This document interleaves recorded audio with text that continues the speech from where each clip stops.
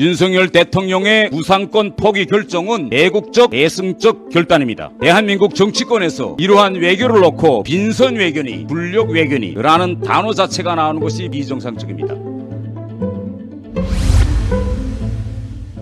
윤석열 대통령의 구상권 포기 결정은 대국적 결단이다 라는 주제로 말씀드리겠습니다. 지금 윤석열 대통령의 일본 방문 관련한 초점은 모두 두 정상이 뭘 주고받을지에 집중되어 있습니다. 그러나 어제 윤석열 대통령은 일본 언론과의 인터뷰에서 일본에 구상권을 행사하는 일이 없을 것이라고 밝혔습니다.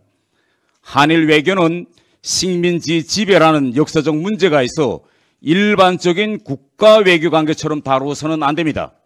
우리가 일본으로부터 독립한 지 78년이 다가오고 있고 우리는 이미 10위 경제강국 대열에 들어섰습니다. 우리는 전순국, 일본은 전패국의 위치에서 접근해야 합니다.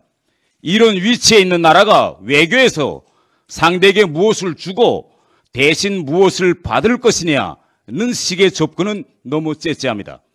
이제부터 하늘 관계는 우리가 갑의 위치에서 주도권을 쥐고 리드해야 하며 일본이 우리의 제안에 호응하든 호응하지 않든 우리가 미래를 향해 갈 길을 가면 되는 것입니다.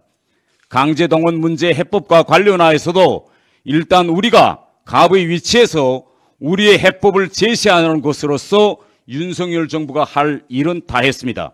이런 점에서 윤석열 대통령의 구상권 포기 결정은 대국적 대승적 결단입니다.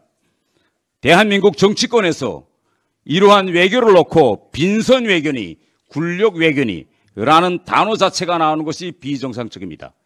아침에 일 나간 아빠가 저녁에 집에 돌아올 때 손에 무엇을 들고 들어와야 집 식구가 하루 끼니를 때울 수 있었던 시대는 영원히 지나갔습니다.